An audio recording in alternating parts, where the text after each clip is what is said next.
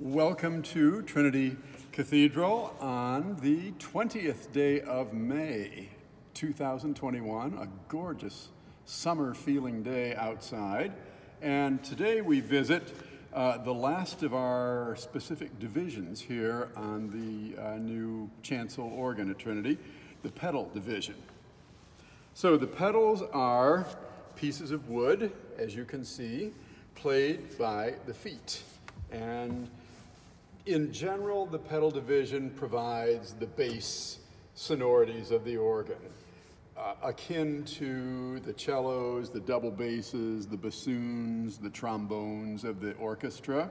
That's kind of the role that the pedal division plays most of the time, although not all the time. The pedal division can play high pitches, it can play melodies in many different uh, pitch ranges. So it's, it's actually a very uh, versatile division, but it is first and foremost the bass of the organ, B-A-S-S, bass of the organ.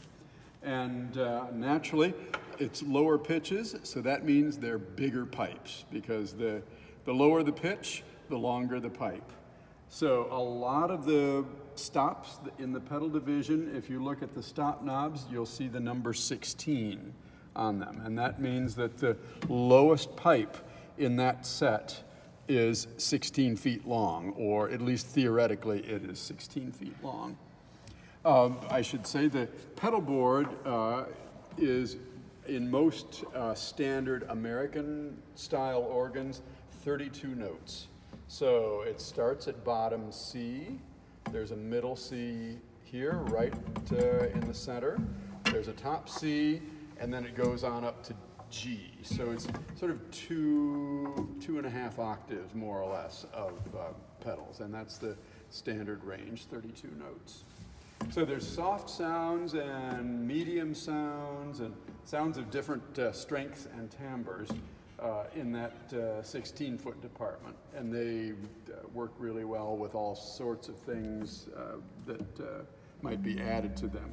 So one of the first things is a, it's a 16 foot flute, and the, the normal name for that on a lot of organs is bourdon, B O U R D O N. And uh, so that's a wooden set, usually, wooden set of pipes. Uh, pedal pipes are sometimes wood, sometimes metal, and in a huge variety of shapes as well. It's quite, uh, quite fascinating, and, and it's one of the biggest components in any pipe organ is the, those big 16 foot pedal pipes. So this is our 16 foot bourdon that just play down the uh, scale at the bottom octave.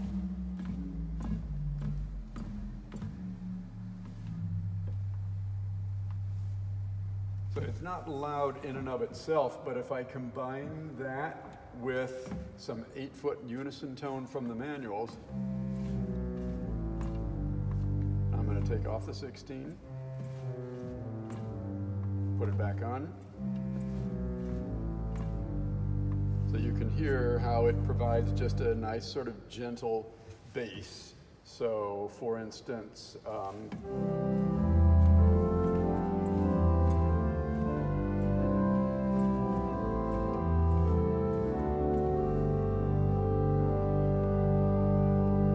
there's the 16 foot board providing the bass line for a hymn the way it does time after time.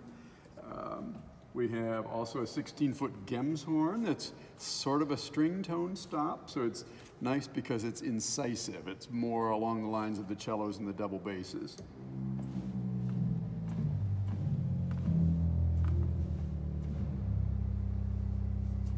So those are metal pipes, and you can tell it's, a, it's just a different tone world compared to the Bourdon. Here's the Bourdon. Much more hollow and airy, you might say. And here's the metal Gemshorn.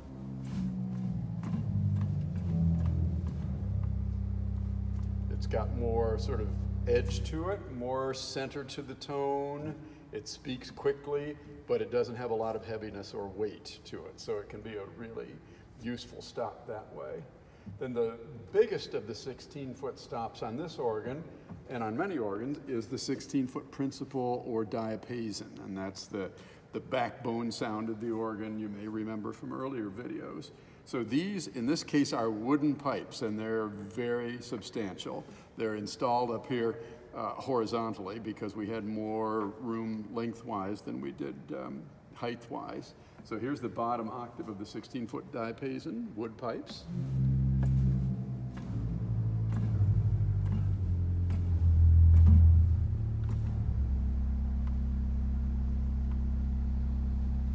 You can really feel the, the air moving, uh, you know, when, when those get going. So if I combine those with some higher pitches from uh, the manuals, the way one often does, here is uh, a sort of a, a family of tone.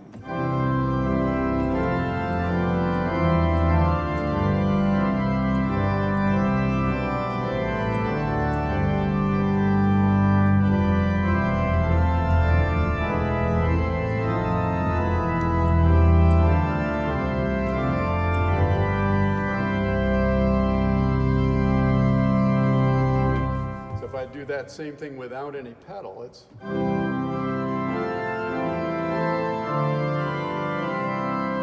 adding the pedal.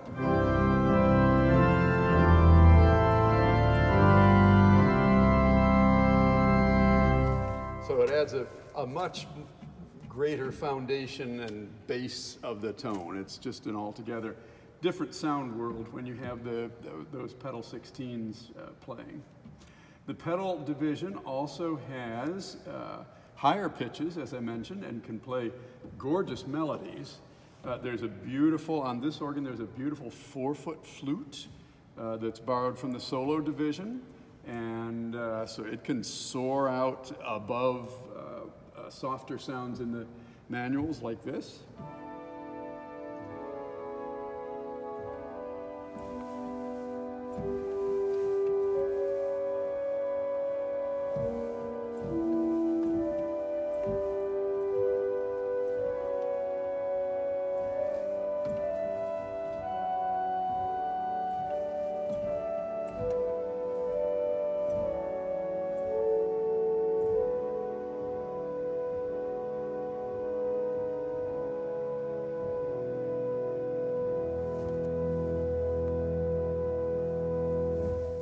There's a four-foot clarinet, also borrowed from the uh, solo division, and it can be very useful for melodies in the pedal.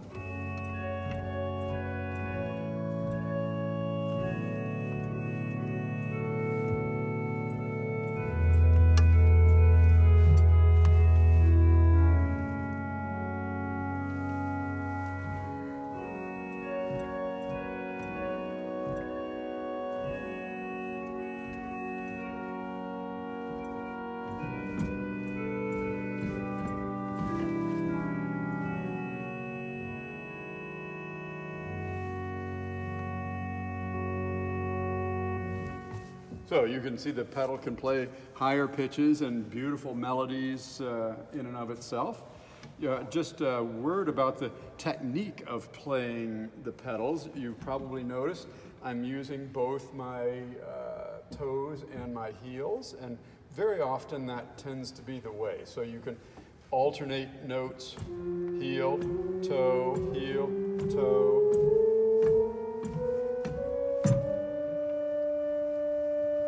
Sometimes you can play rapid passages, alternating the toes of both feet.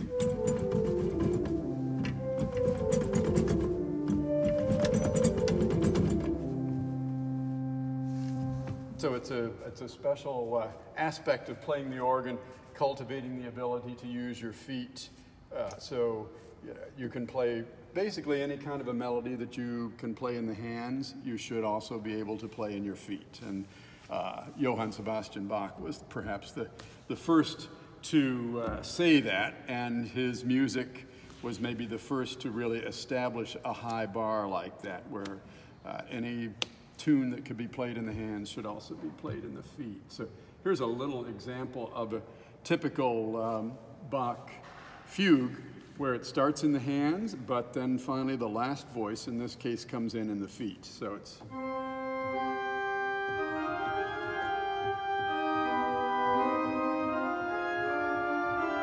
Two voices in the hands. Third voice. So there are three parts in the hands right now.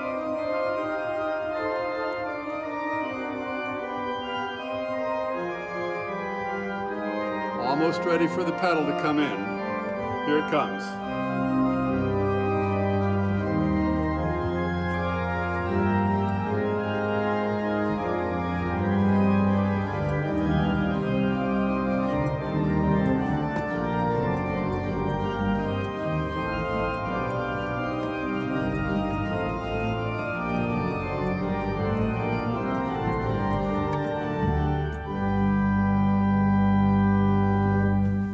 That's typical of how the pedal might work in, uh, in a Bach fugue. So it's an absolutely equal voice to anything that's happening in the hands. You can also play chords in the pedal, which is a sort of a special thing, but you can use the, the arch of your foot to uh, do things like that. So I can play a lower note. I'm going to skip this one in the middle and then reach the upper note with my um, toe. So I'm using both my heel and my toe in sort of a, a bridge uh, fashion, making a bridge over that one middle note that I'm skipping. And I can add a third note below that with my left foot.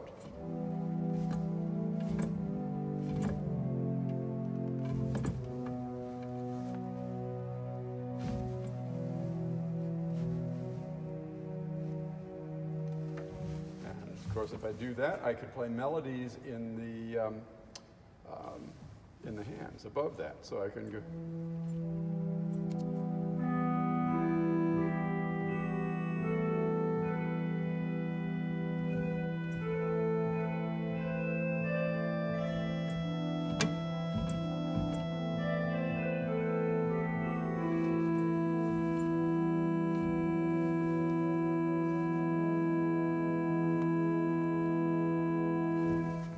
That case, I'm playing the accompaniment, the, the sustained quiet sonorities in my feet and playing the melodies uh, in the hands. So that's another example of uh, what the pedals can do. Uh, on many organs, this one included, the pedal has the loudest bass sounds, of course, and we have a really heroic set of um, 16 foot, the, the uh, tuba stop that you might remember from the solo division. Extends down to 16 foot in the pedal, and it's really a, a wall of sound, as it were.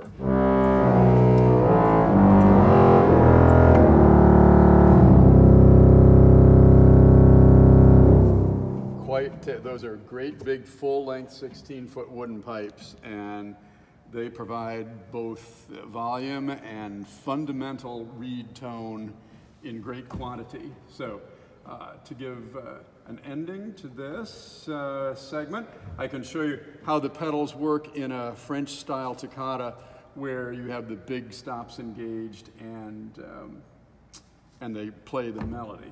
Uh, the one thing I've not mentioned before I do that is the 32 foot stops. And 32 foot pipes take an awful lot of room, awful lot of expense. So for that reason, on many organs, the 32-foot stops are produced uh, now digitally uh, through great big speakers and woofers.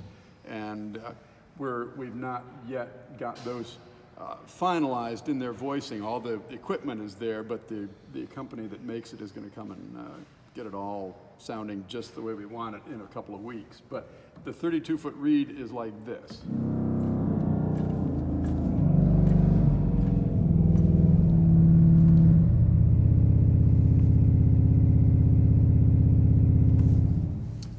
Uh, quite authentic sounding. You can really feel the beats of the, what would be the reed tongue vibrating there. They're so slow at, at 32 foot C down there that you,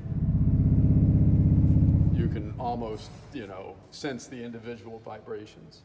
So if we put on the, those big heroic reed sounds and play uh, uh, some brilliant figurations above it, you can have one of the most exciting textures that the pipe organ produce, uh, like, like this.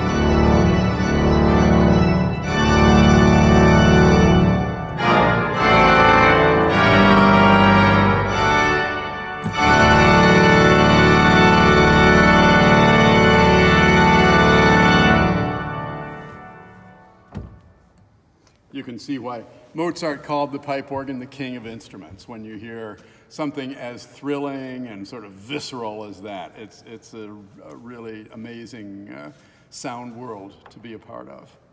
So that's a little overview of some of the many things that the pedal division can do. And uh, thank you for tuning in to this uh, series of videos introducing you to the various um, keyboards and the various tonal divisions of this organ.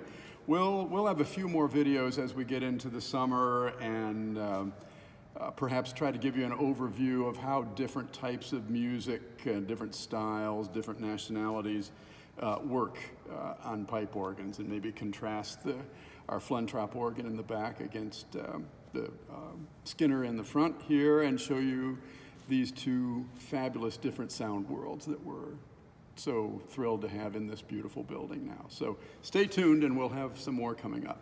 Take care in the meantime.